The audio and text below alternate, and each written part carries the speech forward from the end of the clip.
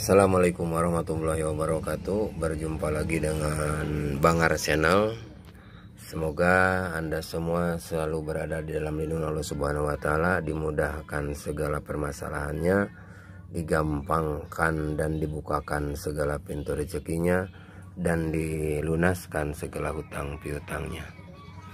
Baiklah teman-teman Sekarang saya akan menunjukkan kepada teman-teman semuanya eh, pohon ataupun bibit cabai yang tadinya ketika belum di stek pucuk ataupun dipotong pucuknya dia sudah seumuran cabai yang ini. Dan kesuburannya pun oh, udah sama seperti cabai yang ini. Tapi eh, karena saya ingin mencoba mempraktekkan apa yang sudah saya ketahui maka saya mencoba uh, bibit cabai yang tadinya sudah besar seperti ini yang ukurannya sudah seumuran bibit cabai yang ini kemudian saya coba stek pucuk ataupun saya potong pucuknya dan inilah hasilnya seperti ini.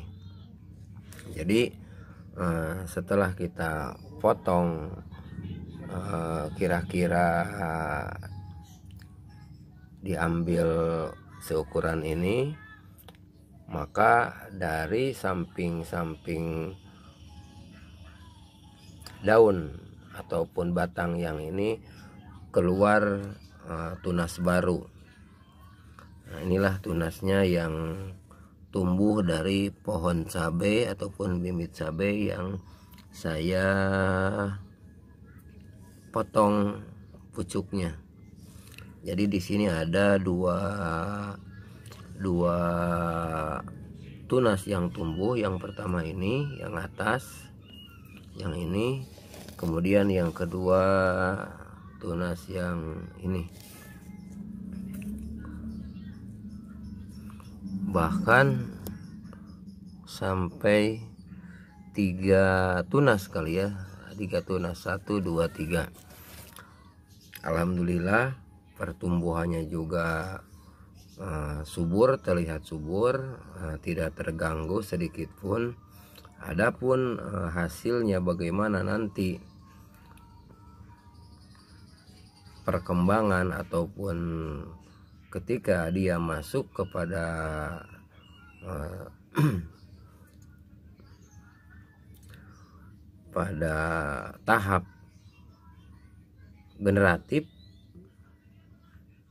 maka akan kita bandingkan antara benih cabai yang kita stek pucuk sama benih cabai yang kita biarkan tumbuh dan tidak kita potong pucuknya. Apakah benih cabai yang kita potong ini akan lebih produktif dalam menghasilkan buah ataupun menghasilkan buah yang lebih banyak? Apakah uh, pohon cabai yang kita biarkan begitu saja justru akan lebih banyak buahnya? Maka nanti akan kita bandingkan uh, cara manakah yang mungkin lebih efektif dan lebih menguntungkan untuk kita.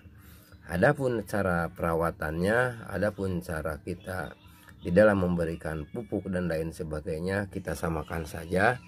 Hanya perbedaannya yang satu cabai tumbuh alami dibiarkan begitu saja dan yang ini kita coba dengan cara stek pucuk mungkin uh, itu saja uh, video dari Bangar Channel. Maka akan kita lihat nanti ketika pohon bibit cabai tersebut sudah waktunya menghasilkan buah ataupun tumbuh batang batang akan bandingkan manakah di antara keduanya ini yang lebih produktif? Sekian. Assalamualaikum warahmatullahi wabarakatuh